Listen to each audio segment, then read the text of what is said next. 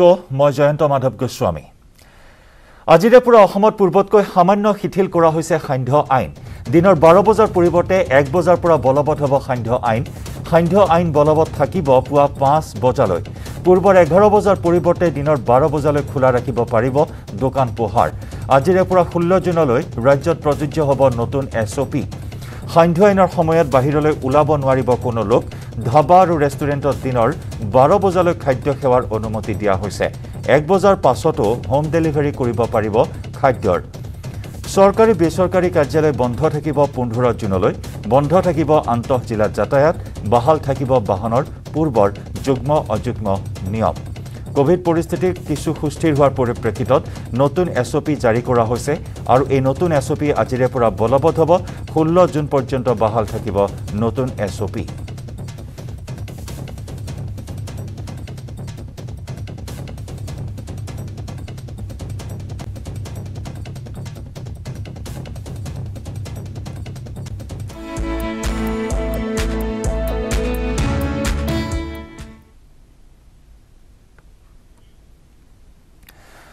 আৰু covid care লাইভত অইন দিনৰ দৰে আজিও আমি কথা পাতিম কভিড সম্পৰ্কত বিভিন্ন বিষয়। আৰু কেনেদৰে বিশেষভাৱে আপুনি কভিডৰ এই জটিল সময়ছোৱাত নিজৰ যত্ন ল'ব? আমি বিভিন্ন চিকিৎসা পদ্ধতিৰ কথা পাতি আহিছোঁ। এই কভিড কালত কি কি পদ্ধতি অৱলম্বন কৰি আপুনি নিজকে ৰক্ষা কৰিব এই মহামাৰীৰ পৰা? এই মহামাৰীৰ বিৰুদ্ধে যুঁজ কেনেকৈ দিব? কেনেদৰে জয় কৰিব পাৰিব কভিডক বিভিন্ন বিষয় আমি আলোচনা কৰি আহিছোঁ। আৰু বিশেষকৈ বিভিন্ন চিকিৎসা পদ্ধতি সেয়া লাগিলে আয়ুৰ্বেদিক চিকিৎসা পদ্ধতিয়ে হওক বা অন্যান্যই হওক কেনেদৰে আপুনি নিজক সুৰক্ষিত কৰিব আপোনাৰ পৰিয়ালটোক সুৰক্ষিত কৰিব এই বিষয়ে আমি কথা পাতি আহিছোঁ। আজিও আমি কথা পাতিম আমাৰ সৈতে থাকিব চিকিৎসক। লগতে সক্ৰিয় হৈ আছে আমাৰ ফোন নম্বৰ আমালৈ ফোন কৰক আপুনিও বিধান ল'ব পাৰিব। আজি আমাৰ সৈতে আছে এই মুহূৰ্তত আমি পৰিচয় কৰোৱাই দিম পাণ্ডু এফ আৰ ইউৰ মেডিকেল অফিচাৰ আয়ুৰ্বেদিক চিকিৎসক ডাক্তৰ দীপ্তি ৰেখা শৰ্মা। ডাক্তৰ দীপ্তি ৰেখা শৰ্মা আপোনাক স্বাগতম জনাইছোঁ আমাৰ অনুষ্ঠানৰ মাজলৈ। কভিড আৰু আয়ুৰ্বেদ গুৰুত্ব কিমান? কভিড কেয়াৰৰ ক্ষেত্ৰত কভিডৰ যত্নৰ ক্ষেত্ৰত আয়ুৰ্বেদিকৰ আয়ুৰ্বেদৰ গুৰুত্ব কিমান? প্ৰথমে আপোনাৰ পৰা এই বিষয়ত কিছু জানি ল'ব বিচাৰিম। হয়। স্বাগতম জনাইছোঁ। মই মই আয়ুৰ্বেদিক চিকিৎসক ডাক্তৰ দীপ্তি ৰেখা শৰ্মা। আৰু আয়ুৰ্বেদিকত ক'ভিডৰ ক'ভিড যিহেতু এটি নতুন ৰোগ হয় আৰু এই ৰোগবিধৰ ৰোগবিধত আমি দেখা পাইছোঁ যে নতুনকৈ গৱেষণাৰ জৰিয়তে আয়ুৰ্বেদিকৰ আয়ুৰ্বেদিক চিকিৎসাসমূহ বহুত ভালকৈ গৱেষণাত আমি পোৱা গৈছে যে চিকিৎসা খুব ফলপ্ৰসূ হৈ পৰিছে। আৰু সেয়ে আমি দেখে দেখিছোঁ যে আয়ুৰ্বেদিক চিকিৎসা যথেষ্ট গুৰুত্বপূৰ্ণ হ'ব পাৰে। কিছুমান বিশেষ চিকিৎসা সূত্ৰৰ লগতে চিকিৎসা পদ্ধতি ইয়াতে দিয়া হৈছে। ভাৰত চৰকাৰৰ আয়ুষ মন্ত্ৰণালয়ৰ দ্বাৰা স্বীকৃতিপ্ৰাপ্ত এই চিকিৎসাসমূহ মই বিশদভাৱে মই জনাই যাম প্ৰতিটো প্ৰতিটো চিকিৎসাৰ গুৰুত্ব কিমান। কিছুমান গাইডলাইন দিয়া হৈছে এই সময়ত আমাক প্ৰতি প্ৰতিজন ৰেজিষ্টাৰ্ড মেডিকেল আয়ুৰ্বেদিক প্ৰেক্টিশ্যনাৰক যাতে তেওঁলোকে ভালকৈ ক'ভিড কেয়াৰ কৰিব পাৰে তেওঁলোকৰ বাবে কিছু চিকিৎসা পদ্ধতি আমি আমাক দিয়া হৈছে। আৰু সেইখিনি যদি আমি ভালকৈ ক'ভিডত লগাব পাৰোঁ ক'ভিডৰ চিকিৎসাৰ কাৰণে লগাব পাৰোঁ তেনেহ'লে নিশ্চয় আমি ইয়াতে ভাল সুফল পাব পাৰি। হয়। হয়। আমি কথা পাতিম চিকিৎসা পদ্ধতিৰ কথা পাতিম সুফল কেনেদৰে লাভ কৰিব পাৰি সেই বিধানো আপোনাৰ পৰা ল'ম। এটা ফোন কল আছে আমি ফোন কলটো লৈ লওঁ। নমস্কাৰ স্বাগতম আপোনাৰ প্ৰশ্নটো কৰিব। হয়। হেল্ল' আচ্ছা মই এক তাৰিখ এক তাৰিখ এই আপোনাৰ কভিচিল্ড ইনজেকশ্যনটো লৈছিলোঁ। তেতিয়া কভিচিল্ড ইনজেকশ্যন লোৱাৰ পাছত মই নিগেটিভ দেখালে। আচ্ছা তাৰপাছত তিনি তাৰিখটো আবাৰ মই নিগেটিভ দেখালে। কিন্তু মাত্ৰ এদিন লৈছিলোঁ মানে দুই তাৰিখৰ এইটো তোমাৰ পজিটিভ ওলাই গৈছিল। কি? এইটোৰ অৱস্থা কি কৰিব? এতিয়া পজিটিভ ওলাইছে নেকি আপোনাৰ? নহয় এতিয়া ওলোৱা নাই মেডাম মেডাম ওলাইছে বহুত। এক তাৰিখ মই নিগেটিভ আছিল হেল্ল' হয় শুনি আছে। আপুনি কৰক প্ৰশ্নটো কৰক। এক তাৰিখ এক তাৰিখটো মই মই মেডিকেল ইঞ্জেকশ্যনটো লৈছোঁ নিগেটিভ আছিল। আকৌ এই এক তাৰিখ আমাৰ এই যে কি কয় আপোনাৰ আৰ্টিফিচিয়েলটো আৰ্টিফিচিয়েলটো দিছিলোঁ। আকৌ মই তিনি তাৰিখ মোৰ ইয়াতে এটা চেণ্টাৰ হৈছিল মানে টেষ্টৰ এটা চেণ্টাৰ বহিছিল। তাতে যাই মই টেষ্ট কৰিছোঁ তিনি তাৰিখ তিনি তাৰিখটো নিগেটিভ কিন্তু দুই তাৰিখ আৰ্টিফিচিয়েল হয়।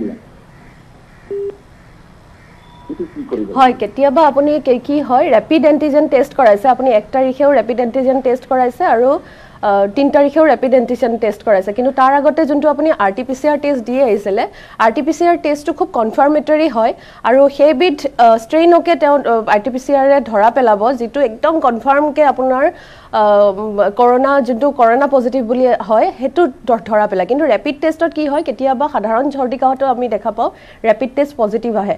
কেতিয়াবা ফল্ছ নিগেটিভ বা ফল্ছ পজিটিভো দেখা যায়। সেইকাৰণে আপোনাৰ R T P C R টেষ্টটোকে আপুনি কনফাৰ্ম বুলি ধৰি থওক আৰু আহ, সেইটোত যদি পজিটিভ আহিছে আপোনাৰ নিশ্চয় কৰোণা ভাইৰাছটোৰ পৰা আপুনি আক্ৰান্ত হৈছে। আৰু বিশেষভাৱে আপুনি যদি যত্ন লয় তেনেহ'লে খুব সোনকালে আপুনি ভাল পাই উঠিব। হয় আমি যত্নৰ কথা পাতিম। আৰু এটা ফোন কল আছে আমি লৈ লওঁ। নমস্কাৰ স্বাগতম জনাইছোঁ। ডাক্তৰ দীপ্তিৰেখা শৰ্মা আছে আপোনাক বিধান দিবলৈ। আপোনাৰ প্ৰশ্নটো কৰক। হেল্ল' আচ্ছা হয়। মই মোৰ এইটো প্ৰশ্ন এই ভেকচিন লোৱাৰ আগত ভেকচিন লোৱাৰ আগত কিবা পৰীক্ষা চৰীক্ষা কৰিব লাগে নেকি ছাৰ?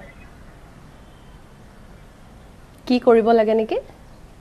ভেকচিন লোৱাৰ আগতে ভেকচিন লোৱাৰ আগত কি- পৰীক্ষা চৰীক্ষা তাৰমানে ডায়েবেটিছ বা তাৰমানে চেক কৰিব লাগিব নেকি নালাগে। একো নালাগে আপুনি ভেকচিনটো ল'ব পাৰে। আপোনাৰ এই যি নৰ্মেল যদি কিবা সমস্যা বা কিবা ৰোগত ভুগি আছে সেই নৰ্মেল ৰোগখিনিৰ কাৰণে একো ভয় কৰিব নালাগে। এতিয়া ল'ব পাৰি কিন্তু গাইডলাইন মতে কোৱা হৈছে চৰকাৰৰ যোনখন গাইডলাইন দিয়া হৈছে সেইখনৰ মতে আই চি ইউত যদি আছে বা কোনোবা ৰোগী যদি হাৰ্টৰ হাৰ্টৰ পেচেণ্টেও ল'ব পাৰে বা যিকোনো ডায়েবেটিছ থকা পেচেণ্টেও ল'ব পাৰে কিন্তু তেওঁলোক যদি সেই ৰোগত ভুগি আই চি ইউত যদি আছে তেনেহ'লে সেই ৰোগীসমূহক ভেকচিন লোৱাৰ পৰা বাধা দিয়া হৈছে। আৰু তাৰ বাহিৰে আপোনালোক সৰু সুৰা যিখিনি সমস্যা আছে ডায়েবেটিছ হওক বা উচ্চ ৰক্তচাপ হওক আপোনালোকে ভেকচিন ল'বলৈ ভয় নকৰিব ভেকচিন সময়মতে লওক। ভেকচিন সময়মতে লওক চিন্তামুক্ত হৈ ভেকচিন লওক। আৰু এটা ফোন আছে আমি ফোন কলটো লৈ লওঁ। নমস্কাৰ স্বাগতম জনাইছোঁ। প্ৰশ্নটো কৰক আপোনাৰ। হেল্ল' হয় অঁ মই বনমালী তালুকদাৰে কৈছিলোঁ। কওক আপ- আপোনাৰ প্ৰশ্নটো কৰক। মই তাৰমানে ভেকচিন লৈছিলোঁ কোভেক্সিন আৰু আহিছে তাৰমানে মোৰ মোবাইলত অনলাইন বুকিং কৰিছিলোঁ না। কোভিচিল্ড আহিছে। এতিয়া তাৰমানে মই কোভেক্সিন ল'ব লাগিলেতো আঠাইছ দিনৰ পৰা বিয়াল্লিছ দিনৰ ভিতৰত ল'ব লাগিব। কিন্তু মোক কোভিচিল্ডতো চৌৰাশী দিন দিছে মোৰ মোবাইল এতিয়া মই কি কৰিব লাগিব। আপুনি এটা কাম কৰিব আপুনি যোনখন প্ৰাইমেৰী হেল্থ চেণ্টাৰত আপুনি লৈছিলে সেই ভেকচিনটো কোভেক্সিন যদি আপুনি খুব ভালকৈ জানে আপুনি কোভেক্সিন লৈছিলে তেনেহ'লে তেওঁলোকক গৈ যদি কয় অনলাইন তেওঁলোকে সেই ৰেজিষ্ট্ৰেশ্যন প্ৰচেছটোতে তেওঁলোকে শুদ্ধ কৰি দিব আৰু কোভেক্সিন আপুনি আপোনাৰ কোভেক্সিনৰ যোনটো আঠাইছ দিনৰ পৰা যোনটো ড'জ হয় সেই ড'জটোৱে আপুনি পাব নিশ্চয়। তেওঁলোকৰ তাত এবাৰ গৈ সেই কাৰেকশ্যনটো কৰি ল'লেই হ'ল। হয়। আৰু এটা ফোন আছে আমি ফোন কলটো লৈ লওঁ। নমস্কাৰ স্বাগতম। প্ৰশ্নটো কৰক আপোনাৰ। হয় নমস্কাৰ আচ্ছা মই এটা প্ৰশ্ন কৰিব। খুজিছোঁ মানে মেইন কথা হ'ল কি মোৰ মাৰ বয়স প্ৰায় এইটটি ফাইভ এইটটি ছিক্স মাৰ আগতে আজি ধৰক দুই হাজাৰ হয় কৰক প্ৰশ্নটো কৰক আপোনাৰ। হয়। হেল্ল' অঁ, হয় কওকচোন কিন্তু এতিয়া মা ভেকচিন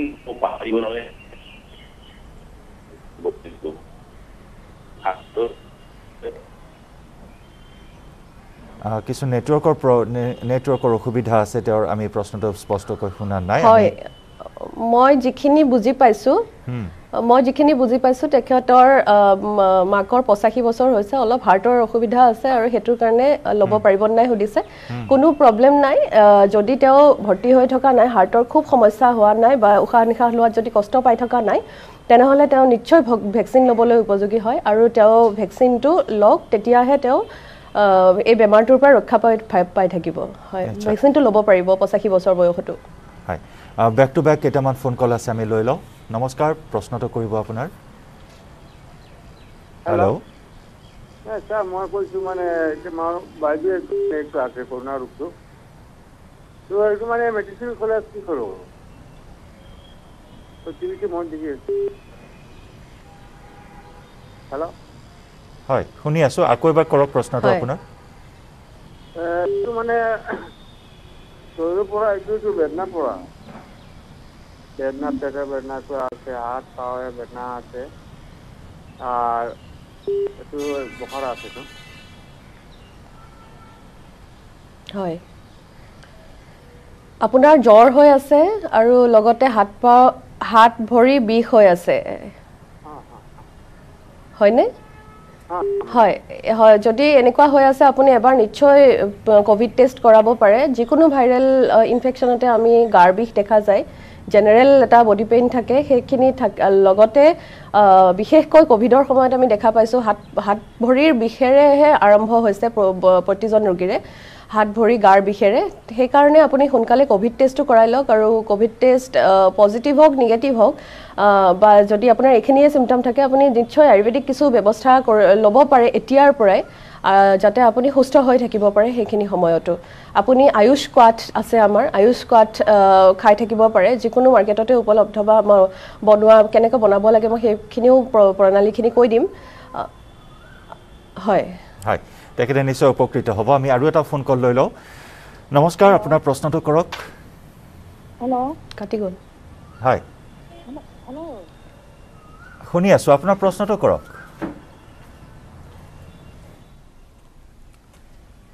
আমি আমি ফোন কলসমূহ ল'ম। ডাক্তৰ দীপ্তি ৰেখা শৰ্মা আছে। আয়ুৰ্বেদৰ বিধান দিব আপোনাক কেনেদৰে যত্ন ল'ব?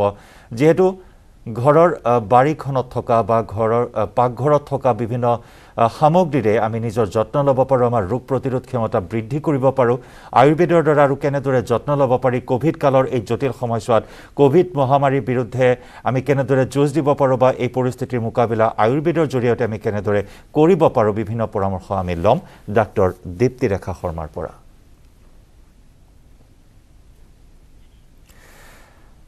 আৰু তাৰ পূৰ্বে এই মুহূৰ্তত দ্য মৰ্ণিং শ্ব'ত আমি ল'ম এটি চমু বাণিজ্যিক বিৰতি। যিসকল দৰ্শক এই মুহূৰ্তত ফোন লাইনত আছে কিছু সময় অপেক্ষা কৰক এটা ক্ষন্তেক বাণিজ্যিক বিৰতিৰ পিছতে আমি উভতি আহিম। বিৰতিৰ পিছত আপোনাক পুনৰ স্বাগতম। আপুনি চাই আছে দ্য মৰ্ণিং শ্ব' আৰু লাইফ কেয়াৰ ক'ভিড কেয়াৰ লাইভত আজি আমাৰ সৈতে আছে পাণ্ডুৰ F R U medical officer doctor Dipti Rekha Sharma. আমাৰ হাতত ফোন কল আছে কেইটামান আমি ফোন কল কেইটা লৈ লওঁ এই মুহূৰ্তত। নমস্কাৰ জনাইছোঁ আপোনাক। আপোনাৰ প্ৰশ্নটো কৰক। নমস্কাৰ নমস্কাৰ হয় আজ দোস্ত কিন্তু বিয়াল্লিশ দিন পাৰ হৈ গ'ল। এতিয়া ল'ব পৰা নাই পিছত ল'লে অসুবিধা? হয়। এতিয়া যিটো নতুন গাইডলাইন দিছে সেইটো ফাৰ্ষ্ট ড'জটো আপোনাৰ কোভিচিল্ডৰ ফাৰ্ষ্ট ড'জটো আপোনাৰ ফৰ্টি টু ডেইজ নহয় বিৰাল্লিছ দিন পাৰ হ'লেও আপুনি এতিয়া অকণমান সময় অপেক্ষা কৰিব লাগিব। আৰু চৌৰাশী দিন পাৰ হোৱাৰ পিছতহে আপুনি ল'ব পাৰিব। যিহেতু তাৰ যিখিনি আমাৰ গৱেষণা হৈছে তাৰ পৰা দেখা পোৱা গৈছে যে যোনটো ডিউৰেশ্যন হয় সেই ডিউৰেশ্যনটো যদি এইট্টি ফ'ৰ ডেইজৰ পিছত হয় তেনেহ'লে আপোনাৰ সেই বুষ্টাৰ ড'জটোৱে বেছি ভাল কাম কৰে। সেইকাৰণে ছেকেণ্ড ড'জটো আপুনি ল'ব পাৰিব এইট্টি ফ'ৰ চৌৰাশী দিনৰ পিছত মানে তিনি মাহৰ ভিতৰত আপুনি লৈ ল'ব। বিৰাল্লিছ দিন হ'লেও আপুনি কিছু অপেক্ষা কৰি লওক। হয়। আৰু এটা ফোন কল আমি লৈ লওঁ। নমস্কাৰ আপোনাৰ প্ৰশ্নটো কৰক। অ নমস্কাৰ ছাৰ মই যোৰহাটৰ পৰা হয়। মই যোৰহাটৰ পৰা কৈছোঁ ছাৰ। অ, হেল্ল' শুনি আছোঁ প্ৰশ্নটো কৰক। অ মই ছাৰ যোনখনে কভিডৰ বেজি ল'লো। লোৱাৰ পাছতো আকৌ মোৰ পজিটিভ ওলাব। গতিকে মই ছাৰ কি কৰিব লাগিব? পোন্ধৰ দিনটো মই আপোনাৰ কি কৰিম ৰখিম আজি দহ দিন হ'ল। এতিয়া আকৌ বেজি ল'ব লাগিব নেকি হয় আপুনি যদি নালাগে ক'ভিড ক'ভিডৰ এটা ড'জ লৈছিল নে আপুনি? দুটা ড'জ ল'লো মেম দুটা ড'জ লোৱাৰ পিছতো মোৰ দুইটা দুটা ড'জ লৈছে হয়। পজিটিভ ওলাব। হয় হয় কিছুমান ক্ষেত্ৰত দেখা গৈছে দুটা ড'জ লোৱাৰ পিছতো ইনফেকশ্যনটো হয় কিন্তু তাৰ যোনটো চিভিয়েৰিটি হয় যোনটো চিৰিয়াছনেছ হ'ব মানে কিছুমান মানুহৰ ক্ষেত্ৰত হয় সেইটো ভেকচিন লোৱাৰ পিছত নিশ্চয় কম হয় কাৰণ এণ্টিবডি যোনটো এইটো আমাৰ ভেকচিন ল'লে কি হয় এটা এণ্টিজেন বাহিৰৰ পৰা আমি এটা এণ্টিজেন আমি সোমোৱাই দিছোঁ তাৰ তাৰ বিপক্ষে আহ, যোনটো এণ্টিবডি আমাৰ গঢ় লৈ উঠিব লাগে সেই এণ্টিবডিটো গঢ় লৈ উঠে। আৰু সেইকাৰণে ভেকচিন লোৱাৰ কাৰণে যিটো এণ্টিবডি হ'ল সেইকাৰণে আপোনাক বাহিৰৰ পৰা ভাইৰা ভাইৰাছটোৱে ইনফেকশ্যন কৰিলেও এই এণ্টিবডিটোৱে আপোনাৰ খুব ছিৰিয়াছ হ'বলৈ নিদিয়ে। সেইকাৰণে আপুনি এইখিনি সময়তে আপুনি যদি আয়ুৰ্বেদিক প্ৰতিকাৰ কিছুমান লৈ থাকিব পাৰে তেনেহ'লে খুব ভাল আপুনি সুফল পাই থাকিব আৰু খুব সোনকালে আপুনি ৰিকভাৰ হৈ উঠিব। তেনেকৈ মই যিটো কৈছোঁ গিলৈ আপুনি এতিয়া খাই থাকিব পাৰে। গিলৈ কেঁচা গিলৈ যদি ঘৰত আছে বা ওচৰে পাঁজৰে আছে তেনেহ'লে গিলৈ আপুনি খালী পেটত আপুনি অলপমান সিজাই পেলাই খাব পাৰে বা থেতেলিয়াই গৰম পানীৰ লগত খাব পাৰে। তুলসীৰ ৰস খাব পাৰে পাৰে। তুলসী আদা লং জালুক আৰু ডালচেনি এই চাৰিবিধ আপুনি মিলাই আয়ুষ কোৱাঠ বনাই খাব পাৰে। এইকেইবিধ আপুনি যদি কৰি থাকে খুব ভাল আপুনি সুফল পাই থাকিব। সুন্দৰ পৰামৰ্শ। আমি আৰু ফোন কল লৈ লওঁ। নমস্কাৰ প্ৰশ্নটো কৰিব আপোনাৰ। হেল্ল' হেল্ল' হেল্ল' হয়। হয় আমি শুনি আছোঁ। আমি শুনি আছোঁ। আপোনাৰ প্ৰশ্নটো। কৰক। মোৰ মা মানে ছিক্সটি হয়। তাতে মানে ছাৰ আমি কোভিচিল্ডটো দিলোঁ ফাৰ্ষ্ট ড'জটো মাৰ। হয়। হয় ছেকেণ্ড ড'জটো আপোনাৰ এতিয়াও হোৱা নাই বুলি কৈ আছে সদায় গৈ আছে ফৰ্টি আপোনাৰ ফিফটি ডেজৰ ওপৰত হ'ল। মোৰ প্ৰশ্নটো হ'ল মাৰ আমাৰ মানে হেভি হেৰি হয় হাই প্ৰেছাৰ হয় কেনেকে কণ্ট্ৰল কৰিব লাগিব এইটো? হয় আপুনি ভেকচিনৰ কথালৈ মই কওঁ যে ভেকচিন আপুনি সময়তে লওক এইট্টি ফ'ৰ ডেইজৰ পিছতে লওক। চৌৰাশী দিন তিনি মাহৰ ভিতৰত আপুনি ভেকচিনটো ল'ব পাৰিব। পঞ্চাছ দিন হৈছে এতিয়া আপুনি চিন্তা কৰিব নালাগে। যিহেতু অকণমান বয়সস্থ হয় তেনেহ'লে অকণমান সাৱধানতা লৈ থাকিব লাগিব। আৰু উচ্চ ৰক্তচাপ যদি আছে তেখেতৰ তেনেহ'লে আপুনি এটা কাম কৰিব। সদায় আপুনি খোৱাত তেওঁক দুই ফুটাৰ পৰা চাৰি ফুটাকৈ লং আপোনাৰ যোনটো আমাৰ নহৰু আছে নহৰু দুই ফুটা বা তিনি ফুটাকৈ নহৰু দিয়া কৰক। নহৰুৰ লগত আপুনি আমলখি কেতিয়াবা আপুনি খালী পেটত আমলখি খাবলৈ দিয়ক। আমলা বা আমলা আমলাৰ জুচ পোৱা যায় আমলখি জুচ পোৱা যায় জুচ খাবলৈ দিব পাৰে। আৰু লগতে আপুনি পানীলাও সদায় যদি পায় ফ্ৰেছ পানীলাও যদি পায় পানীলাও খোৱা কৰক। আচলতে এটা মাৰ্কেটত আহে লকি জুচ বুলি। জুচ নোখোৱাকৈ আপুনি পানীলাও সিজাইও খাব পাৰে। আমি যেনেকৈ খাওঁ পানীলাও সিজাই খোৱা হয়। সেইখিনি ব্যৱস্থা যদি আপুনি কৰিব পাৰে ঘৰতে আপুনি এইটো যিহেতু উচ্চ ৰক্তচাপ বুলি ক'লে এইখিনি আপুনি ভাল এটা ভাল হৈ যাব পাৰে। আৰু লগতে যদি মেডিচিন খাই আছে তেনেহ'লে নিশ্চয় সময়মতে মেডিচিন খাব। আৰু আয়ুৰ্বেদিকতো কিছু মেডিচিন আছে সেইখিনি চিকিৎসকৰ পৰামৰ্শ অনুসৰি আপোনালোকে মেডিচিনো ল'ব পাৰিব যদি খুব বেছি হাই প্ৰেছাৰ হয়। হয়। আৰু এটা ফোন আছে আমি লৈ লৈছোঁ। নমস্কাৰ প্ৰশ্নটো কৰিব আপোনাৰ। মই ধৰ্মেশ্বৰ পথাৰে কৈছোঁ। মোৰ তাৰমানে ছেকেণ্ড ড'জত দিলোঁ পৰ হেৰি শুক্ৰবাৰে। হুম, বুজিছে? তাৰপিছত মোৰ এতিয়াও শৰীৰটো খুব দুৰ্বল। মাথা ঘূৰাই দিয়ে। এনেকুৱা হৈ থাকে। আৰু মোৰ এনে গেষ্ট্ৰিকৰ প্ৰব্লেমো আছে। গেষ্ট্ৰিক আলচাৰ হৈছিলে ঔষধ খাইয়ে আছে তথাপিতো ভাল পোৱা নাই। এতিয়া মই সেই কৰিব দিছোঁ কিন্তু ৰিপৰ্টটো আনি মই দেখাব পৰা নাই। ব্লাড টেষ্ট কিহৰ বাবে কৰিব দিছে? মোৰ গেষ্ট্ৰিকৰ কাৰণে। মোক খুব দুৰ্বল এইকাৰণে হয়। কভিডৰ বিষয়ে কি আছে জানিবলগীয়া কৈছে? যে ভেকচিনটো লৈছিলে। হয়। ভেকচিন দুয়োটাই লোৱা হৈছে মোৰ। হয়। ভেকচিন তেওঁ লৈছে শুক্ৰবাৰে আৰু যিহেতু তেওঁ হয় বয়সস্থ হয় তেওঁ সেইকাৰণে ভেকচিনৰ হয়তো অকণমান এফেক্ট থাকিব পাৰে। মূৰ ঘূৰোৱা দুৰ্বল কৰা আদিবোৰ ভেকচিনৰ কাৰণে হ'ব পাৰে। ছেকেণ্ড ড'জতো কেতিয়াবা দেখা যায় হোৱা। ভয় কৰিব নালাগে এইটো সময়ত দুই বা তিনিদিনৰ ভিতৰত এইটো হাম কাটে। আৰু লগতে যদি আপোনাৰ গেষ্ট্ৰিক গেষ্ট্ৰিক প্ৰব্লেম হৈ আছে গেষ্ট্ৰিকৰ কাৰণে আপুনি আয়ুৰ্বেদিক কিছু খাব পাৰে এল'ভেৰা জুচ খাই থাকিব পাৰে নাইবা কুমাৰী আচব বুলি কুমাৰ যোনটো ঘৃতকুমাৰী হয় আমাৰ ছালকুঁৱৰী হয় ছালকুঁৱৰীৰ পৰা জুচ বনোৱা হয় বা মেডিচিনো বনোৱা হয় সেই মেডিচিনসমূহ খাব পাৰে। আৰু লগতে আপুনি আহ, জষ্টি মধু বুলি যিটো কয় জষ্টি মধুৰ পাউডাৰ পোৱা যায়। দ- জষ্টি মধুৰ পাউডাৰ দুইৰ পৰা তিনি চামুচ গৰম পানীৰ লগত গুলি খালী পাতত খাব পাৰে। খুব ভাল আপুনি গেষ্ট্ৰিক আলচাৰত খুব ভাল সুফল পাব। এইখিনি আপুনি কৰক আৰু লগতে আপুনি ব্লাড টেষ্ট কৰাবই দিছে। ব্লাড টেষ্টত কি আহে আপুনি চাই লওক। চিকিৎসকৰ নিশ্চয় আপুনি পৰামৰ্শ ল'ব। হয়। আমি কথা পাতিম। দৰ্শক আছে ফোন লাইনত। আমি কিছু সময় অপেক্ষা কৰক আমি অনুৰোধ জনাইছোঁ। এটা বাণিজ্যিক বিৰতিৰ সময় হৈছে। বিৰতিৰ পিছত আমি ফোন কলসমূহ ল'ম আৰু ক'ভিড আৰু আয়ুৰ্বেদিক বিধান সন্দৰ্ভত আৰু অধিক কথা পাতিম। ডক্টৰ দীপ্তিৰেখা শৰ্মাৰ সৈতে। লৈছোঁ আন এটি বাণিজ্যিক বিৰতি। স্বাগতম জনাইছোঁ। আপুনি চাই আছে দ্য মৰ্ণিং শ্ব' আৰু ক'ভিড কেয়াৰ লাইভত আমি কথা পাতি আছোঁ ডক্টৰ দীপ্তিৰেখা শৰ্মাৰ সৈতে। দৰ্শক আছে কেইবাগৰাকীও আমাৰ সৈতে। আমি ফোন কলকেইটা লৈ লওঁ। নমস্কাৰ স্বাগতম। আপোনাৰ প্ৰশ্নটো কৰক। হয় মই গুৱাহাটীৰ পৰাই কৈছো। হয়। মোৰ প্ৰশ্ন হ'ল এই কভিডৰ সময়ত মানুহে কেনেকৈ নিজকে নিজৰ ইমিউনিটি পাৱাৰটো বঢ়াই ৰাখিব আয়ুৰ্বেদিকৰ জৰিয়তে বা ঘৰুৱা কি বস্তু মানে কি কি বস্তু ব্যৱহাৰ কৰিলে আমি অকণমান ষ্ট্ৰং হৈ থাকিব পাৰিম? মই সেই কথাটো জানিব বিচাৰিছোঁ। সুন্দৰ প্ৰশ্ন। আমাৰ ৰোগ প্ৰতিৰোধ ক্ষমতা কেনেদৰে ঘৰতে হয় সুন্দৰ প্ৰশ্ন কৰিছে তেখেতে। হয় এইটো সকলোৱে জানিব লগা কথা আচলতে যিহেতু সকলোৰে ঘৰত ক'ভিড হ'ব পাৰে আৰু সেইখিনি অৱস্থাত যদি কোনোবা হোম আইচলেশ্যনত আছে বাকীখিনি মানুহো যাতে সযতনে থাকিব পাৰে সাৱধানে থাকিব পাৰে তেনেকুৱাও কিছুমান মই কথা কওঁ এতিয়া। আয়ুৰ্বেদিকত আয়ুৰ্বেদিক পদ্ধতিত আপুনি যদি সোধে তেনেহ'লে আপুনি কিছুমান খাদ্য প্ৰথমতে আহিলোঁ খাদ্য। খাদ্য আপুনি খুব ভাল খাদ্য খাই থাকিব লাগিব মানে হাই প্ৰটিন ডায়েট বুলি যোনটো কোৱা হয় সদায় আপুনি ৰাতিপুৱা ৰাতি বুট বা মগু তিয়াই থৈ ৰাতিপুৱা বা পিছদিনাখন গজালি ওলোৱা যোনটো বুট বুট মগু আছে সেইখিনি যদি খাই থাকে তেনেহ'লে খুব হাই প্ৰটিন হয় সেইটো। যোনটো চালাড বুলিও কোৱা হয় প্ৰটিন চালাড বুলি কোৱা হয় তেনেকৈও আপুনি খাই থাকিব পাৰে। আৰু লগতে মই দুটা পদ্ধতি কওঁ। এটা হৈছে নাকত অনুতেল বা চাটবিন্দু তেল বা একো নহ'লেও সৰিয়হৰ তেল। এই তিনিটা যদি আপুনি তেল দুই ড্ৰপকৈ দুইটা নাকতে দি থাকে তেনেহ'লে সাধাৰণতে আমি দেখা যায় যে নাকেদি বীজাণুটো নাকেদি বীজাণু বা ভাইৰাছবিধ গৈ পেলাই ডিঙিত দুই পৰা তিনিদিনলৈ ডিঙিত থাকে। সেইখিনি সময়ৰ ভিতৰত যদি আমি ভাইৰাছবিধক ডিঙিৰ পৰাই আমি উলিয়াই দিব পাৰোঁ সেইটো খুব ভাল এটা পদ্ধতি হয়। আমাৰ আমি যদি ক'ৰবালৈ ওলাই যোৱাৰ সময়ত বা ক'ৰবাৰ পৰা অহাৰ পিছত তেলবিধ দিওঁ তেনেহ'লে ভাইৰাছটো কেপচাৰ কৰি লয় সেই তেলবিধত আৰু লগতে ডিঙিলৈ ওলাই আহে।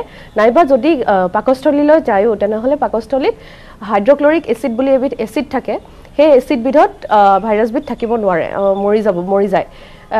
এই দুটা কাম কৰিলে আৰু যদি মুখত যদি থাকে তেনেহ'লে আমাৰ পদ্ধতি আছে কৱল বা গণ্ডুচ মানে তিল তেল বা আপুনি সৰিয়হৰ তেল মুখত লৈ মুখত যেনেকৈ আমি গাৰ্গল কৰা হয় তেনেকৈ কভল কৰিব লাগে মানে আপুনি কুল- কোলা কোলাৰ নিচিনা কৰিব লাগে আৰু দুই পৰা তিনি মিনিটলৈ মুখত সম্পূৰ্ণ মুখখনত ভৰাই তাতে আপুনি যদি মুখত ধৰি ৰাখে তেলটো অলপ সময়ৰ কাৰণে তেনেহ'লে খুব ভাল এণ্টি মাইক্ৰবিয়েল যোনটো গুণ থাকে সেই সকলো প'ৰ্ছবিলাকত চেলবিলাকত খুব শক্তিশালী হৈ উঠে চেলবিলাক আৰু তাৰ কাৰণে মানে খুব ভাল এটা আমি সুবিধা মানে সুফল আমি পাব পাৰোঁ।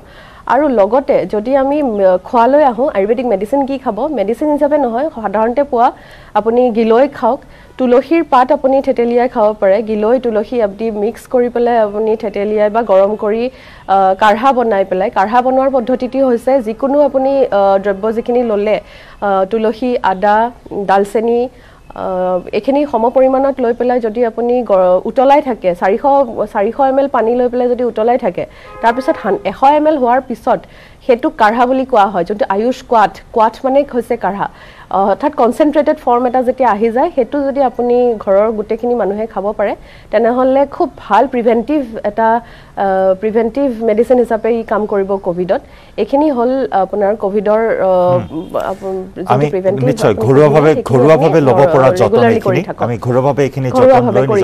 সুৰক্ষিত কৰি ৰাখিব পাৰোঁ আমাৰ ৰোগ প্ৰতিৰোধ ক্ষমতা আমি বৃদ্ধি কৰিব পাৰোঁ। আৰু আছে ফোন কল আমি লৈ লওঁ। নমস্কাৰ প্ৰশ্নটো কৰক। হেল্ল' হয় হেল্ল' মই কৈ আছো। হয়।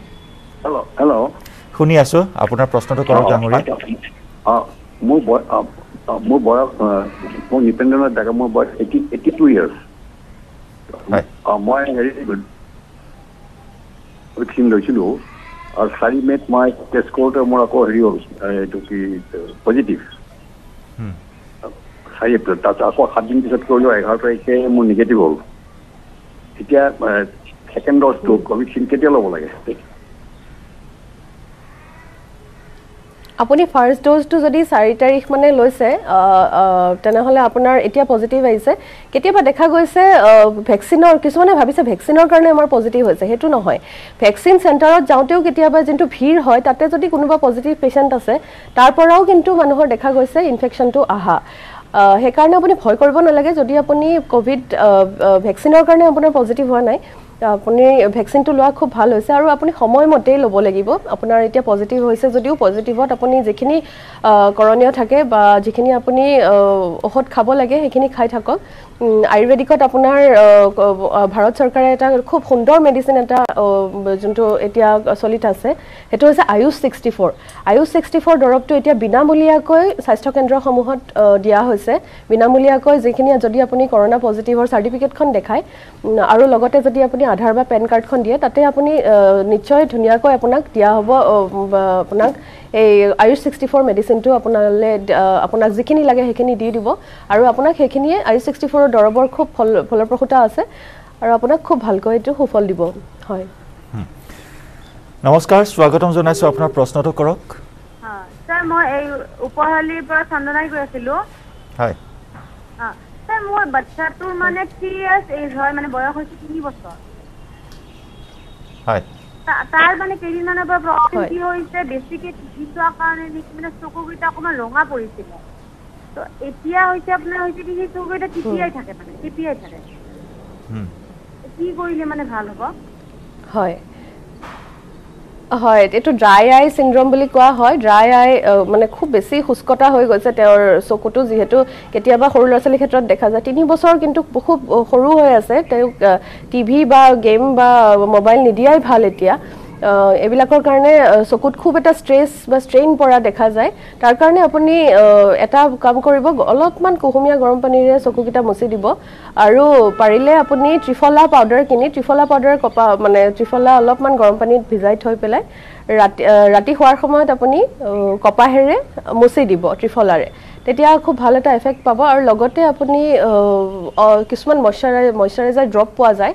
এবাৰ চকুৰ ৰোগ বিশেষজ্ঞক দেখুৱাই পেলাই মইশ্চাৰাইজাৰ ড্ৰপখিনি ড্ৰপ যদি দিয়ে তেনেহ'লে সেই যোনটো শুষ্কতা হৈছে সেই শুষ্কতাটো নোহোৱা হ'ব। কিন্তু প্ৰথম কথা হৈছে টিভি বা মোবাইলৰ পৰা দূৰত ৰাখক। তিনি বছৰ বয়সত যদি আপুনি এতিয়াই যদি শুষ্কতা হয় তেনেহ'লে চকুৰ পাৱাৰো হয়তো পিছত কমিব পাৰে। আৰু এটা ফোন আছে আমি লৈ লওঁ। নমস্কাৰ প্ৰশ্নটো কৰক আপোনাৰ। হেল্ল' নমস্কাৰ হা হয় মোৰ ক'ভিড পজিটিভ হ'বৰ কাৰণে আজি প্ৰায় দহ পোন্ধৰ দিন হ'ল। গতিকে এতিয়া মই সম্পূৰ্ণ ক'ভিডৰ পৰা মই মুক্ত পাইছোঁ কিন্তু হয় মুক্ত পাইছোঁ মই পেচাবটো কৰিলে আৰু পায়খানা কৰিলে মোৰ খুব জ্বলি থাকে ইমানে জ্বলে যে মই মানে একেবাৰে সহ্য কৰিব নোৱাৰোঁ বাকী কোনো প্ৰব্লেম নাই আগৰ কিবা অলপ অসুবিধাখিনি মই ভাল পাইছোঁ এতিয়া খালি মাত্ৰ পেচাবটো মই পায়খানা কৰিলে হয় মোৰ মানে খুব বিষায় আৰু পেচাবো হয় আৰু পায়খানাও হৈ আছে কিন্তু মানে খুব জ্বলি থাকে। কিবা আপোনালোকৰ ফালৰ পৰা কিবা খুব টান হৈছে নেকি পায়খানাটো? পায়খানাটো নিচিনা। হৈছে। নেকি পায়খানাটো? প্ৰথমতে বৰ খুব টান হ'লে কিন্তু আজি কালিৰ পৰা আকৌ মই ভাল পাইছোঁ অকণ অকণমান হেৰি হৈছে নৰ্মেল হৈছে পায়খানাটো। হয় হয়। কেতিয়াবা এইটো পষ্ট ক'ভিড বুলি নহয় আপোনাৰ ক'ভিডত যদি আপুনি কিবা মেডিচিন খাইছিলে তেনেকুৱা কাৰণেও হ'ব পাৰে মেডিচিনৰ এটা এফেক্ট থাকিব পাৰে। আপোনাৰ যদি কৌষ্ঠকাঠিন্যৰ নিচিনা হৈ আছে তেনেহ'লে আপুনি বা খুব যদি জ্বলিছে পুৰিছে খুব শীত শীতল গুণসম্পন্ন হয় এল'ভেৰা জুচ। এল'ভেৰা জুচ আপুনি খাই থাকক। খুব ভাল আপুনি খুব ভালকৈ আপোনাৰ পায়খানা হ'ব আৰু যোনটো জ্বলা পোৰা কৰিছে সেই জ্বলা পোৰাটো আপোনাৰ কমি যাব। খুব সোনকালে আপুনি ভাল পাব আৰু লগতে খুব মছলাদাৰ খাদ্য নাখাব এতিয়া। খুব মছলা যদি খায় জ্বলা পোৰাটো আৰু বেছি হ'ব। আৰু যিহেতু আপুনি ক'ভিডৰ পৰা উঠিছে ক'ভিডৰ পৰা উঠাৰ পিছত পানী বেছিকৈ খাব। আৰু লগতে যিখিনি মই ক'লোঁ এল'ভেৰাৰ জুচ খাব লাগে বা এনেকুৱা ধৰণৰ আমলখিও খাব পাৰে। এনেকুৱা ধৰণৰ প্ৰচেছবোৰ কৰি থাকিলে আপুনি এইখিনি সমস্যা আপোনাৰ কমি যাব। হয়। আৰু আছে ফোন কল আমি লৈ লওঁ। নমস্কাৰ প্ৰশ্নটো কৰক আপোনাৰ। অঁ ছাৰ নমস্কাৰ। হয়। অঁ, মই ছাৰ আজি একমাহমান আগতে মই মানে ক'ভিড মোৰ পজিটিভ হৈছিলে। মই বৰ্তমান ভাল পাইছোঁ। কিন্তু ছাৰ মোৰ হেৰি আছে এই হাৰ্ট প্ৰব্লেম আছে মোৰ। মই দুই হাজাৰ ছয় চনত মই হাৰ্ট অপাৰেশ্যন কৰিছিলোঁ। অলপ হাৰ্টত মই প্ৰেচাৰ পাইছোঁ। কিন্তু এতিয়া সুস্থ হৈছিলোঁ এতিয়া মোৰ হাৰ্টটো মাজে মাজে ধপ ধপাই আৰু হাৰ্টটো দুৰ্বল হৈ গৈছে এতিয়া মই এটা ভেকচিনটো ল'ব পাৰিম নে নোৱাৰিম? হয় আপুনি এতিয়া কভিডৰ পৰা যদি মুক্ত হৈছে এতিয়া নিশ্চয় আপুনি ভেকচিনটো ল'ব নোৱাৰে। কাৰণ যিটো নতুনকৈ গাইডলাইন ওলাইছে সেইমতে ন- নব্বৈ দিনৰ পিছতহে ক'ভিড হোৱাৰ নব্বৈ দিনৰ পিছতহে আপুনি ভেকচিনটো ল'ব পাৰে। আৰু যিহেতু হাৰ্টৰ সমস্যা কৈছে হাৰ্টৰ সমস্যাৰ কাৰণে আপুনি যদি আগৰ পৰা হাৰ্টৰ সমস্যা আছে আপুনি নিশ্চয় কোনোবা কাৰ্ডিঅ'লজিষ্টক দেখাই আছে। তেখেতৰ লগত এবাৰ কথা পাতি ল'ব। কাৰণ যিহেতু ক'ভিডত দেখা গৈছে এটা ক'ভিড নিউমনিয়া হয় আৰু ক'ভিডত ক'ভিডত পেৰিকাৰ্ডাইটিছ যোনটো হাৰ্টৰ হাৰ্টৰ চাৰিওফালে এখন আৱৰণ থাকে সেই আৱৰণবিধ ফুলা দেখা যায়। লগতে মায়'কাৰ্ডাইটিছ বুলি যিটো কোৱা হয় যোনটো হাৰ্টৰ মাচল হয় সেই মাচলটোৰো ইনফ্লেমেশ্যন বা ইনফেকশ্যন হোৱা দেখা যায়। সেইকাৰণে সেইকাৰণে মই কওঁ যে মায়ক এইখিনি যদি আপুনি খুব ধপধপাই আছে বা বুকুৰ বিষ যেন অনুভৱ কৰিছে আপুনি ভেকচিনৰ ভেকচিনৰ কথালৈ যোৱাতকৈ আপুনি এবাৰ হাৰ্টৰ চেকআপটো কৰাই লওক। আৰু লগতে যদি আপুনি নৰ্মেল হাৰ্টৰ কাৰণে কোনোবা আয়ুৰ্বেদিক মেডিচিন খাব খুজিছে তেনেহ'লে অৰ্জুন চাল যোনটো শুকোৱা শুকাই শুকুৱাই থোৱা অৰ্জুন চাল বা বজাৰত যোনটো কিনিবলৈ পোৱা যায় অৰ্জুন কোৱাঠ বুলি পোৱা যায় এটা প্ৰিভেণ্টিভ আপোনাৰ এছপেক্টত যদি আপুনি খাবলৈ খোজে তেনেহ'লে আপুনি অৰ্জুন আহ, যোনটো ৰস হয় অৰ্জুন ছালৰ পৰা যোনটো বনোৱা হয় কোৱাত কাঢ়া বনোৱা হয় সেইটো খাই থাকক আপুনি নিশ্চয় সেই সুফলটো পাব পাৰিব। হুম। আৰু এটা ফোন আছে আমি লৈ লৈছোঁ। নমস্কাৰ স্বাগতম। আপোনাৰ প্ৰশ্নটো কৰক। হেল্ল' হয় অঁ তাৰমানে মই ভেকচিন লৈছিলোঁ। হয় ভেকচিন লোৱাৰ পিছত মোৰ গাটো কিবা গুটি গুটি হৈছে সেইটো কি খালে ভাল পাম? হয় আগৰ কেতিয়া লৈছিলে ভেকচিন আপুনি? ভেকচিনটো লোৱা মোৰ ফাৰ্ষ্ট যেতিয়া মোৰ আৰম্ভ হৈছিল আমাৰ চেণ্টাৰত মই তাৰমানে হেল্থত কাম কৰোঁ তো সেইকাৰণে মই ভেকচিন প্ৰথমতে লৈছোঁ লৈ আমি ৰাইজক সুৰক্ষা কৰিছোঁ এতিয়া। কিমান কিমান তাৰিখে লৈছিলে আপুনি ভেকচিনটো দুইটা তাৰিখ কিমান তাৰিখে লৈছিলে? চাৰ্টিফিকেট চাৰ্টিফিকেটটো দিছে তাৰিখ লিখা আছে বহুত দিন হ'ল। নহয় আপুনি কোনটো মাহত লৈছিলে? কাৰণ স্বাস্থ্যকৰ্মীসকলে স্বাস্থ্যকৰ্মীসকলে ফেব্ৰুৱাৰী মাৰ্চ মানতে দিয়া হৈছিলে। আৰু যদি আপুনি সেইটো সময়তে লৈছে তেনেহ'লে ভেকচিনৰ কাৰণে আপোনাৰ নিশ্চয় নহয় ছালত যোনটো খজুৱতি বা গুটি গুটি হৈছে সেইটো ভেকচিনৰ কাৰণে নহয়। আপোনাৰ বেলেগ এলাৰ্জি সমস্যা থাকিব পাৰে আৰু তাৰ কাৰণে যদি আপুনি খাব খোজে তেনেহ'লে খুব ভাল আমাৰ আমাৰ আয়ুৰ্বেদিক ঔষধি আছে মহামঞ্জিষ্ঠাৰ ইষ্ট বুলি। মহামঞ্জিষ্ঠাৰ ইষ্ট যদি আপুনি চাৰি চামুচ আপোনাৰ চিৰাপটো আৰু চাৰি চামুচ পানী মিহলাই খায় তেনেহ'লে আপুনি খুব ভাল সুফল পাব। তিনিমাহ আপুনি খোৱা কৰক এমাহতে আপুনি সুফল পাব পাৰিব। আৰু লগতে যদি আপোনাৰ গুটি গুটি উঠি আছে তেনেহ'লে আপুনি কেঁচা হালধি লগাব পাৰে। কেঁচা হালধিয়ে আপোনাৰ খুব এণ্টি ইনফ্লেমেটৰী গুণ আছে। আপোনাৰ গুটি গুটিসমূহ কমাই দিব পাৰিব আৰু লগতে খোৱা মেডিচিনটো আপুনি খাই থাকিলে খুব ভাল পাব। আমি কথা পাতি যাম আমি ফোন কলসমূহো ল'ম কিন্তু তাৰ পূৰ্বে আমি দ্য মৰ্ণিং শ্ব'ত ল'ব লাগিব আন এটি চমু বাণিজ্যিক বিৰতি আহিম উভতি এটা চমু বাণিজ্যিক বিৰতিৰ পিছত। মে' মাহৰ এক তাৰিখে ভেকচিন লৈছিলোঁ? এতিয়া হয়। ছেকেণ্ড ড'জটো কেতিয়া ল'ম? মানে বহুতে বহুত ৰকম কথা কৈ আছে সেইকাৰণে সুধি আছোঁ আপোনাৰ পৰা যে ছেকেণ্ড ড'জটো কেতিয়া ল'ম? কোনটো ভেকচিন লৈছিলে? কোভিচিল্ড নে কোভেক্সিন কভিচিল কভিচিল হয় কোভিচিল্ড যদি লৈছে আপুনি চৌৰাশী দিনৰ পিছত আপুনি ল'ব পাৰিব। তিনি মাহৰ ভিতৰত আপুনি ল'লে হ'ল তিনি মাহৰ তিনি মাহ ক্ৰছ কৰাৰ পিছত আপুনি ল'ব পাৰিব কোনো কথা নাই। কিন্তু আপুনি সদায় সেই আপুনি এতিয়া যোনটো গাইডলাইন আহিছে আপুনি এইট্টি ফ'ৰ ডেইজ বুলি ধৰি থওক আপুনি চৌৰাশী দিন হোৱাৰ পিছতহে আপুনি ল'ব পাৰিব। নমস্কাৰ প্ৰশ্নটো কৰক আপোনাৰ। হেল্ল' হয় প্ৰশ্ন মোৰ বিশেষত তাৰমানে সৰু পাথৰ হৈছে। ক'ভিড সন্দৰ্ভত জানিবলগীয়া আছে আপোনাৰ পাথৰ হৈছে? আহ, হেৰি পাথৰ হৈছে কিন্তু বিষত থাকিব পৰা নাই। এই এতিয়া ঔষধ দিছিলে এইবাৰ সেই ঔষধটো খালে মানে বেছিহে হয়। এতিয়া কি কৰা যাব? কি কিহত পাথৰ হৈছে? কিডনী নে কিডনীত গল পাথৰ ব্লেডাৰ হৈছে। নে কিহত? আহ, 2 হয় কিডনীত 3 mm পাথৰ হৈছে আৰু খুব বিষ। হৈ আছে। সেই যিটো ঔষধ দিছে যদি খুব বিষ হৈছে হয়।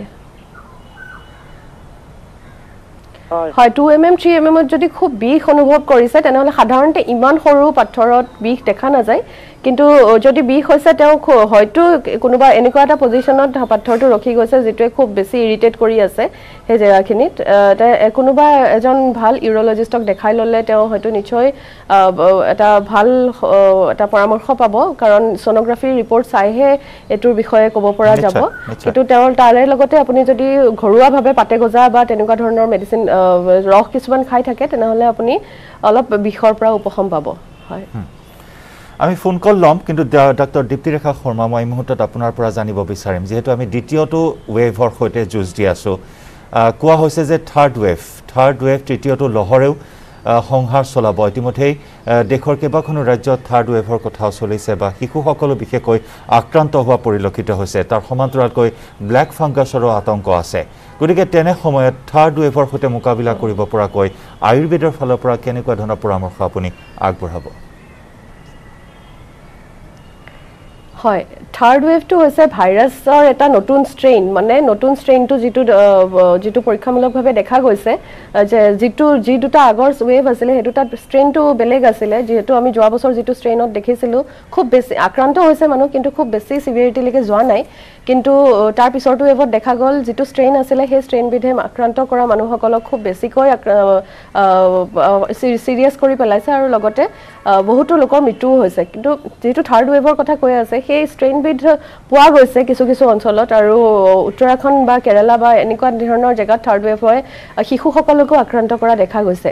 সেইকাৰণে ধৰি লৈ আপুনি যিটো বৈজ্ঞানিকসকলে কৈ আছে এতিয়া থাৰ্ড ৱেভ অক্টোবৰ বা নৱেম্বৰৰ পৰা এটা পিক এটা ল'ব থাৰ্ড ৱেভে আৰু সেইটো সময়ত ডাঙৰৰ লগতে শিশুসকলো আক্ৰান্ত হ'ব।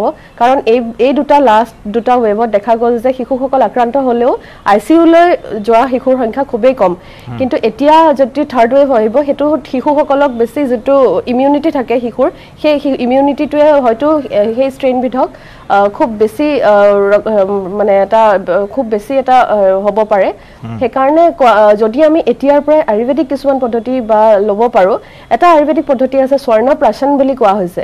আকৌ এবাৰ মই কওঁ স্বৰ্ণপ্ৰাচন যিটো আমাৰ এটা সংস্কাৰ হিচাপে কোৱা হৈছে স্বৰ্ণপ্ৰাচন এটা খুব পিউৰিফাইড এটা মানে খুব শোধনযুক্ত এটা গ'ল্ড সোণৰ প্ৰিপাৰেশ্যন এটা হয়। সোণ খুব কম পৰিমাণে থাকে। স্বৰ্ণপ্ৰাচন চৱন প্ৰাচৰ নিচিনা হয়। এক ড্ৰপ বা দুই ড্ৰপ একদম সৰু আপোনাৰ নৱজাতক শিশুৰ পৰা। ষোল্ল বছৰ বয়সলৈকে স্বৰ্ণপ্ৰাচন কৰিব পাৰি। স্বৰ্ণপ্ৰাচনত আয়ুৰ্বেদিক বিশেষজ্ঞসকলে ভালকৈ এইটো বুজাই দিব পাৰিব আপোনালোকক। স্বৰ্ণপ্ৰাচন যদি মাহে মাহে পুষ্য নক্ষত্ৰত কৰা হয় এই স্বৰ্ণপ্ৰাচন কৰিলে আপোনাৰ ইমিউনিটিটো শিশুসকলৰ যিহেতু আমি মেডিচিন বেলেগ খুৱাব নোৱাৰোঁ। আৰু তেওঁলোকক আমি এই ৰোগটোৰ প্ৰতি প্ৰস্তুতো কৰিব লাগিব। সেইকাৰণে আমি নাজানো এই ৰোগ এই থাৰ্ড ৱেভ কেনে কেনেধৰণে আক্ৰান্ত কৰিব সকলোকে। কিন্তু যদি আমি এতিয়াৰ পৰাই এনেকুৱা ধৰণৰ আয়ুৰ্বেদিক ব্যৱস্থাবোৰ ল'ব পাৰোঁ তেনেহ'লে এই কথাটো হয়তো বহুতে নাজানে স্বৰ্ণপ্ৰাচন বুলি কিবা আছে বুলি। কিন্তু স্বৰ্ণপ্ৰাচন যদি আমি কৰাব পাৰোঁ শিশুসকলক এইটো এটা সজাগতা যদি আমি কৰিব পাৰোঁ তেনেহ'লে শিশুসকলক আমি বচাই ৰাখিব পাৰিম এইটো এইবিধ ৰোগৰ পৰা আক্ৰান্ত হোৱাত। আৰু লগতে খাদ্য খাদ্যৰ ওপৰত যথেষ্ট গুৰুত্ব দিব লাগিব। এতিয়াৰ পৰাই তেওঁলোকক প্ৰস্তুত কৰি তোলক। খাদ্যত যাতে তেওঁলোকক খুব ভাল প্ৰটিনযুক্ত খাদ্য দিয়া হয়। দেউতাক মাকসকলে এই বিধত এই ৰোগবিধ আক্ৰান্ত নহ'বলৈ গুৰুত্ব দিব লাগিব। আমাৰ ফোন কল আছে আমি লৈ লওঁ। নমস্কাৰ স্বাগতম আপোনাৰ প্ৰশ্নটো কৰক। ছাৰ নমস্কাৰ। মই তিনিচুকীয়া মাকুমৰ পৰা কৈছোঁ। মোৰ আজি দুবছৰমান আগৰ পৰা মূৰৰ বিষ আছিলে মূৰৰ বিষ হোৱাৰ কাৰণে মোৰ টোপনি নাহিছিলে।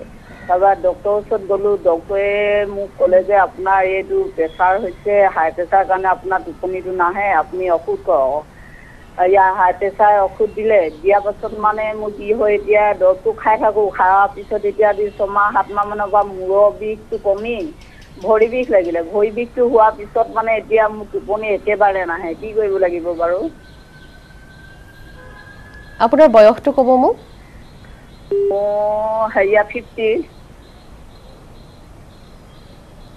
ফিফটি হয়। পঞ্চাছ বছৰ বয়সত যদি আপোনাৰ ভৰিৰ বিষ হৈছে তেনেহ'লে হয়তো কেলছিয়ামৰ কম হ'ব পাৰে। কেলছিয়াম কম হ'ব পাৰে ভিটামিন ডি থ্ৰী বা কেলছিয়ামযুক্ত আপুনি খাদ্য খাব লাগিব। নহ'লে যিখিনি ছাপ্লিমেণ্ট পায় কেলছিয়ামৰ সেয়া আপুনি ল'ব লাগিব। এতিয়া যিহেতু এটা এনেকুৱা সময় যিটোত আপোনাৰ কেলছিয়াম কেলছিয়ামৰ নাটনি শৰীৰত দেখা যায়। আৰু লগতে যদি আপুনি উচ্চ ৰক্তচাপত ভুগি আছে তেনেহ'লে আপুনি ল' কলেষ্ট্ৰলযুক্ত খাদ্য খাব লাগিব। যিহেতু কলে যদি খুব ফেটি ফেটি থকা ফেট থকা ডায়েট খায় বা তেলযুক্ত আহাৰ খায় সেই তেলযুক্ত আহাৰ দেখা যায় যে আমাৰ শৰীৰত যিখিনি নলিকা আছে আৰ্টাৰী ধমনী যিখিনি আছে সেইখিনিত মানে লাহে লাহে জমা হৈ যায় আৰু ফলত আমাৰ যোনটো ৰক্তচাপ তাত সেইটো বৃদ্ধি পোৱা দেখা যায়। সেইকাৰণে মই কৈছোঁ যে যদি আপুনি উচ্চ ৰক্তচাপত ভুগি আছে তেনেহ'লে এনেকুৱা ধৰণৰ আপুনি বিধানবোৰ মানক। আৰু লগতে অৰ্জুনৰ ছাল যদি আপুনি সিজাই পেলাই খোৱা কৰে শুকান অৰ্জুনৰ ছাল বা যদি আপুনি মাৰ্কেটত যোনটো পোৱা যায় অৰ্জুন কোৱাট অৰ্জুন কোৱাট যদি কাঢ়া বনাই খুৱাব পাৰে তেনেহ'লে আপুনি নিশ্চয় খুব ভাল ৰিজাল্ট এটা পাব পাৰিব। আৰু এটা ফোন আছে আমি লৈ লৈছোঁ। নমস্কাৰ প্ৰশ্নটো কৰিব আপোনাৰ। হয় মই আপোনাৰ বিৰাজ গগৈ ক'লোঁ তেজপুৰৰ পৰা। মোৰ এইজ আপোনাৰ থাৰ্টি টু ইয়াৰ্ছ হৈছে। ত' মোৰ মানে কি হ'ল মই এল'পেথিক আৰু হোমিঅ'পেথিক দুইটাই আপোনাৰ ইউজ কৰি আছিলোঁ মোৰ মাইগ্ৰেনৰ প্ৰব্লেম ত' মই এতিয়া মানে কি হ'ল এল'পেথিক আৰু হোমিঅ'পেথিক দুইটা ইউজ কৰাৰ পাছতো কিন্তু মই সুফল তেনেকৈ পোৱা নাই। ত' আয়ুৰ্বেদিকৰ তেনেকুৱা কিবা আছিলে নেকি মাইগ্ৰেনৰ কাৰণে? স্পেচিয়েলি আপোনাৰ ৰাইট চাইড মাইগ্ৰেন মাইগ্ৰেইন আপোনাৰ হয়। মাইগ্ৰেইন আপোনাৰ খুব বেছি ৰ'দত ওলালে হয় বা এনেকুৱা ধৰণৰ কিছুমান হয় নেকি? নহয় নহয় ৰ'দত বুলি নহয় মোৰ আৰ্লি মৰ্ণিং আপোনাৰ তেনেকুৱা হয় ধৰি লওক আৰ্লি কেনেকুৱা মৰ্ণিং আৰু পেটাৰ্ণটো কেনেকুৱা মানে? পেটাৰ্ণটো মানে আপোনাৰ হয়। হেল্ল' হেল্ল' হয় কওক। হয় পেটাৰ্ণ মানে আপোনাৰ এনেকুৱা ধৰণৰ ধৰি লওক মানে এনেকুৱা এটা টাইমলৈকে হ'ব ধৰি লওক হাফ এন আৱাৰ বা ফৰ্টিন মিনিট তেনেকুৱা টাইপ টাইপৰ আপোনাৰ হয়। আৰু সেইটো সময়ত মানে বৰ অসহ্যকৰ মানে সেইটো আৰু পেইন হয়। হয় আপুনি যদি খোৱা মেডিচিন পেইন কিলাৰ বা মাইগ্ৰেইনৰ কাৰণে এনেকুৱা ধৰণৰ মেডিচিনবোৰ খাই থাকে নিশ্চয় আপুনি অলপ সময়ৰ কাৰণে ভাল পাব বা তাৰপিছত চিমটমটো আকৌ কমাৰ লগে লগে চিমটমটো কিছু সময় কমি থাকিব কিন্তু তাৰপিছত আকৌ মেডিচিন খাব লগা অৱস্থা হ'ব। আপুনি তাতকৈ যদি আপুনি আয়ুৰ্বেদিক ব্যৱস্থাত এই কিছুমান চাইনাছ থাকে চাইনাছ বুলি কোৱা হয় যিবিলাক সৰু সৰু এয়াৰ পেচেজ কিছুমান থাকে বতাহ তাতে জমা হৈ থাকে। সেই চাইনাছসমূহ ব্লক হোৱাৰ কাৰণেও কেতিয়াবা মাইগ্ৰেইন হোৱা দেখা যায়। বিভিন্ন কাৰণত হ'ব পাৰে মাইগ্ৰেইন সেই কাৰণটো উলিয়াই পেলাই আমি কাৰণটো যদি আমি ঠিক কৰিব পাৰোঁ তেনেহ'লে আপুনি খুব ভাল এটা ৰিজাল্ট পায়। কিন্তু তাৰ লগতে আপুনি যদি নস্য বুলি আমাৰ যোনটো আয়ুৰ্বেদিক এটা পদ্ধতি আছে পঞ্চকৰ্মা পদ্ধতিৰ ভিতৰতে পৰে। পঞ্চকৰ্মাৰ নস্য নস্যত আপোনাৰ কোনো এবিধ মেডিকেটেড তেল যদি ঔষধি গুণসম্পন্ন তেল সেই তেলবিধ দুই বা তিনি ড্ৰপ বা আপোনাৰ ঔষধ আপোনাৰ যোনটো ৰোগ সেই ৰোগৰ যোনটো ৰোগৰ শক্তিৰ ওপৰত নিৰ্ভৰ কৰি আৰু আপোনাৰ শক্তিৰ ওপৰত নিৰ্ভৰ কৰি ৰোগীবল বা ৰোগবল এই দুটাৰ ওপৰত নিৰ্ভৰ কৰি দিয়া হয় সেই মেডিচিনবিধ। আপোনাক চাই লৈ উঠি পেলাই আমি যদি নস্য কৰাব পাৰোঁ পঞ্চকৰ্মা এবিধ বিধি হয় মেডিচিনৰ লগতে খোৱা মেডিচিনৰ লগতে এই নস্য নস্যই আপোনাক সম্পূৰ্ণৰূপে মাইগ্ৰেইনৰ পৰা ভাল কৰি তুলিব পাৰে। সেয়ে আপুনি যদি কোনোবা ভাল আয়- আয়ুৰ্বেদিক চিকিৎসকৰ পৰামৰ্শৰ মতে নস্য থেৰাপিটো ল'ব পাৰে আপুনি হয়তো সম্পূৰ্ণভাৱে নিৰ্মূল কৰিব পাৰিব মাইগ্ৰেইন ডাক্তৰ দীপ্তিৰেখা শৰ্মা অশেষ ধন্যবাদ আপোনাক। এইখিনি সময় আমাক দিলে। আমাৰ দৰ্শকসকলক দিলে আপোনাৰ বহুমূলীয়া সময়। এই ক'ভিড জটিল সময়ছোৱাত ক'ভিড কালত ফ্ৰণ্ট লাইন ৱৰ্কাৰ হিচাপে আপোনালোক যথেষ্ট ব্যস্ত হৈ আছে। অতি ওচৰৰ পৰা যুঁজ দি আছে ক'ভিড নাইণ্টিন মহামাৰীৰ সৈতে। আৰু এইখিনি সময় আমাক দিলে অশেষ ধন্যবাদ জ্ঞাপন কৰিছোঁ। আৰু আয়ুৰ্বেদিক পদ্ধতিৰ দ্বাৰা অতি প্ৰাচীন পদ্ধতি এই পদ্ধতিৰে আমি কেনেদৰে নিজকে সুৰক্ষিত কৰিব পাৰোঁ নিজে এই পদ্ধতি অৱলম্বন কৰি আমি ক'ভিডৰ পৰা কেনেদৰে ৰক্ষা পৰিব পাৰোঁ বিভিন্ন পৰামৰ্শ আপুনি আগবঢ়ালে দৰ্শকসকলক উত্তৰ দিলে। ধন্যবাদ জ্ঞাপন কৰিছোঁ। আৰু ইয়াৰ লগতে আমি সামৰিছোঁ আজিৰ দ্য প্ৰাইম শ্ব' নমস্কাৰ।